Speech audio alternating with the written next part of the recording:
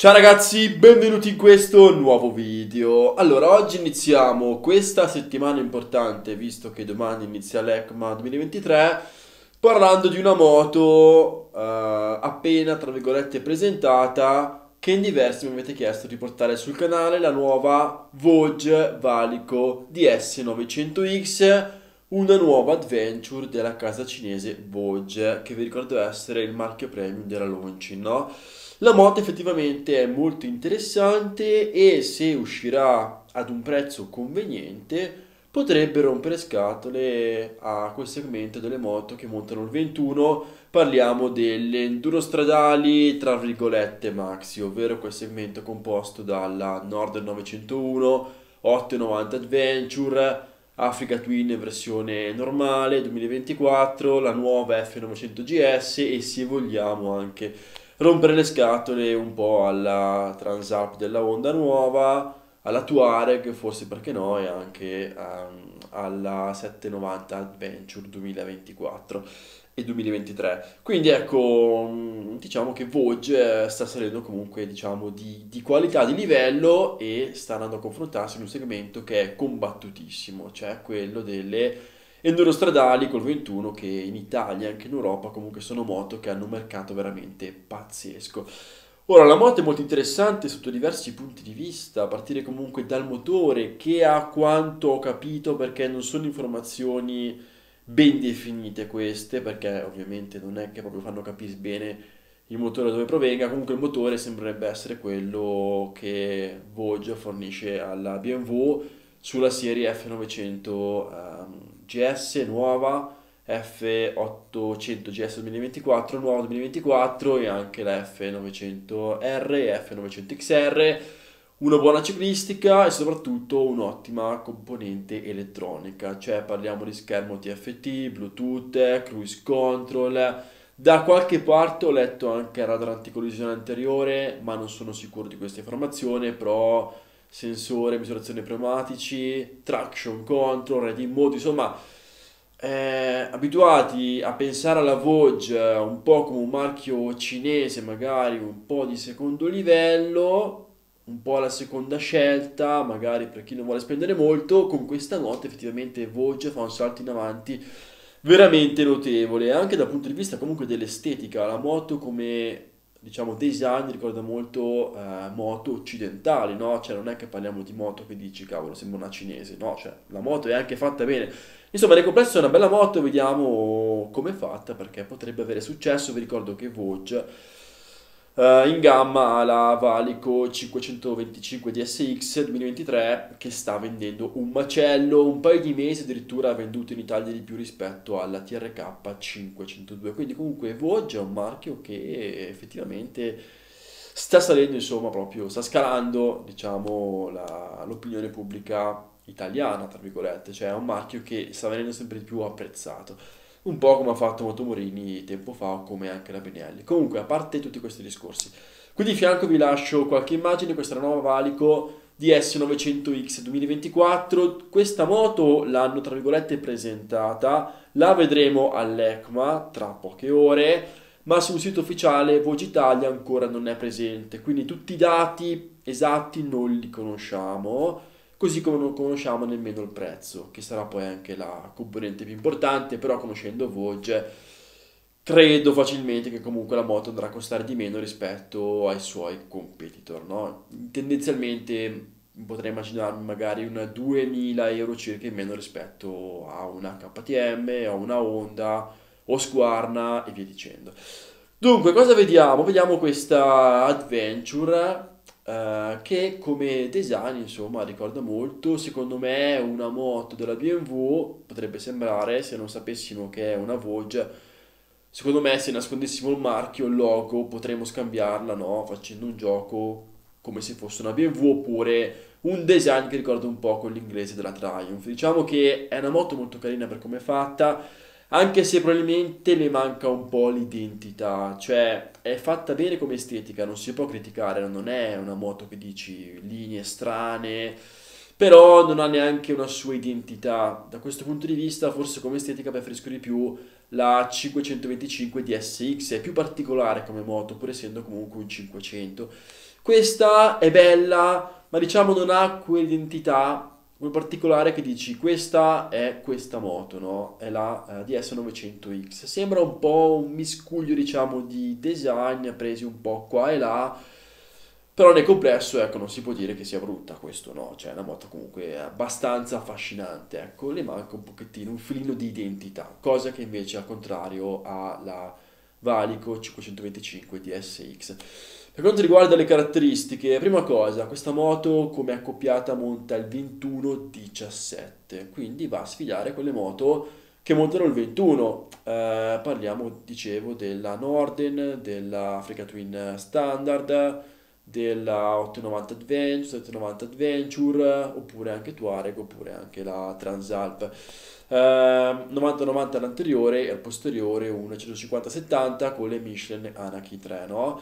Per quanto riguarda invece il motore, questo motore come cilindrata è un 895 bicilindrico. Ora, non è chiaro da dove provenga, ma dovrebbe, dico dovrebbe essere il motore eh, che Vogue, la Longin, fornisce anche alla BMW sulla F900 GS 2024, F900 GS Adventure 2024 F800 GS 2024, F900 XR e F900R.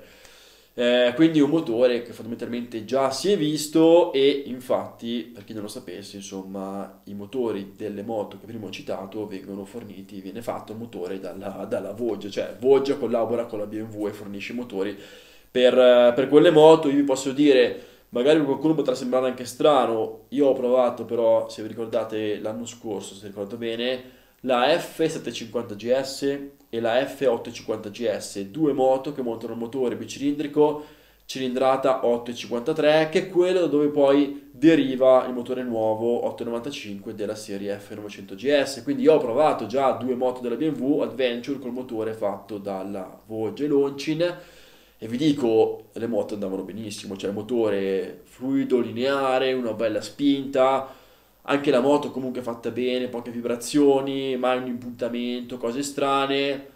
E quindi sono motori secondo me che vanno bene, ecco, quindi non preoccupatevi, discorso comunque provenienza motori, perché comunque c'è questa collaborazione comunque tra BMW e il marchio Loncino, il marchio Voce.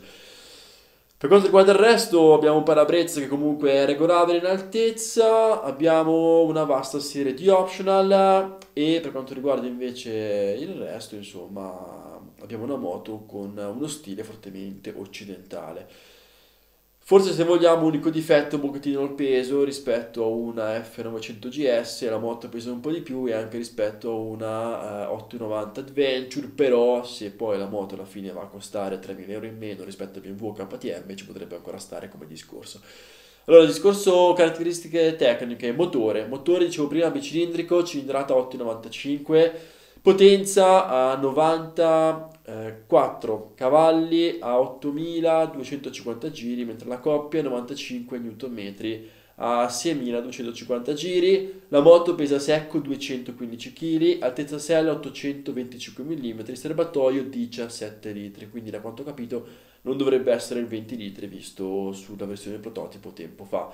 Potenze coppia, ecco, 94 cavalli circa e 95 Nm di coppia, è meno potenza rispetto per esempio al motore dell'F900 GS 2024, ma al contrario comunque è più coppia rispetto al motore proprio della nuova F900 GS e variante Adventure, 2 Nm più di coppia a fronte comunque di una potenza di circa 12 cavalli in meno, comunque il motore dovrebbe essere sempre quello.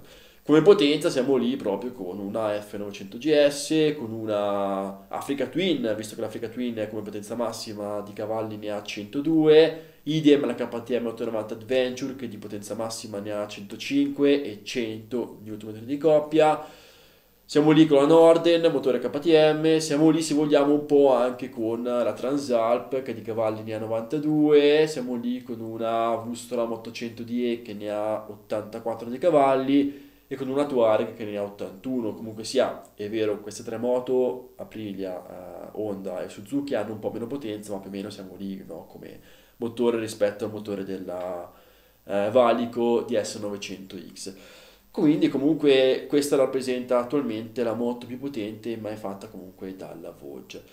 Invece, ciclistica, cosa conosciamo? Il telaio che è in acciaio, forcellone che è in alluminio, sospensioni con la forcella a stili rovesciati, sospensioni che sono regolabili, un impianto frenante che dovrebbe essere firmato Brembo, non conosciamo il diametro dei dischi, ma penso che sia un 300, un 310 all'anteriore probabilmente. Eh, gommata con i cerchi 21-17, 90-90 all'anteriore e al posteriore 150-70 con l'emission Anakin 3 ABS che è presente, doppio canale e se ho capito bene si può anche disinserire. Come strumentazione moderna TFT eh, con Bluetooth, quindi si può connettere smartphone e moto, poi abbiamo cruise control, traction control, abbiamo 4 riding mode eh, e poi c'è cambio elettronico up e down anche, più sensore, misurazione pneumatici, più come optional si può avere anche eh, selle riscaldate e manopole riscaldate. Insomma, è un bel pacchetto fatto bene, moderno. Non si conosce il prezzo però di questa moto attualmente. Prezzo sarà la componente chiave. Voce comunque le moto in Italia le fa pagare meno rispetto alle concorrenti. Se pensiamo, prendiamo come riferimento il segmento KTM o Squarna e Honda con l'Africa Twin o BMW, siamo sulle 14.600, 15.000 euro. Africa Twin versione base sui 15.000 euro, KTM 890 Adventure sui 14.700 euro, F900 GS 2024 nuova. 14.600 a partire da Norden sempre 15.000 euro, insomma se prendiamo come riferimento questo segmento potrebbe essere che magari la voce potrebbe costare magari un 12-13 mila euro e non sarebbe niente male per come è fatta. Poi un motore comunque condiviso dalle BMW, no? Quindi è una cosa comunque di cui vantarsi questa. Insomma, la moto sembra interessante, aspettiamo di vedere dal vivo all'ECMA, io sarò in fiera a Milano sabato mattina con Erika e vi porterò un video anche da questa moto, visto che in tanti comunque siete rimasti colpiti. Per il momento dico brava voce, cioè la moto sembra fatta bene, è cresciuta bene la voce grazie anche alla 525 DSX la Valico, quella blu con i cerchi dorati veramente molto bella e quindi è un bel prodotto questo, insomma, se le cinesi crescono in questo modo, ben venga, anche perché comunque poi costringono probabilmente la concorrenza giapponese o austriaca o tedesca ad abbassare un po' i prezzi. Vedremo ragazzi, poi la moto magari la proverò anche il prossimo anno se riesco, se la metteranno in demo. Da questo video è tutto, nei commenti fatemi sapere cosa ne pensate uh, della moto, se vi piace come è fatta, se non vi piace, discorso potenza, se vi potrebbe interessare ad un prezzo stimiamo di 12.000 euro, però il prezzo è sconosciuto, potrebbe essere 10.000, sarebbe ancora meglio, come potrebbe essere 14.000. Quello che non ho capito è se c'è il radar anticollisione o se c'è quanto costa. Sarebbe interessante sapere cosa, sapete. Uh, se ci fosse radar anticollisione, quanto costerebbe il pacchetto Active Cruise Control se fosse soltanto l'anteriore? per fare un confronto con il radar anticollisione magari eh, che offre Ducati oppure BMW, visto che Ducati il pacchetto radar lo fa pagare tipo 1000 euro e passa sulla multistrada V4. Poi sicuramente non sarà complesso il radar della voce come quello della Ducati, visto che comunque Ducati al tempo aveva detto che per fare quel radar completo anteriore e posteriore aveva fatto studi con un'università italiana, quindi studi dietro di un certo tipo, però radar anticollisione su una voce, insomma, su una moto di un marchio cinese, un brand cinese, è qualcosa di nuovo, no? E quindi è tutto molto interessante. Resta da vedere appunto il discorso prezzo. Uh, dicevo, da questo video è tutto. Saluto come sempre Erika. Un like se vi è piaciuto. Iscrivetevi al nostro canale YouTube con l'Instagram Daniele Macro Ufficiale. Noi ci vediamo come sempre nel prossimo video. Scusatemi per la mia voce, ma sono un po' raffreddato. Per farvi il video di domenica sulla top classifica top 20 moto più venute in Italia, ho preso un botto di freddo, quindi mi sono raffreddato, quindi ho perso un po' la voce. Uh, e basta. Da questo video è tutto. Noi ci vediamo in un prossimo. Ciao ragazzi!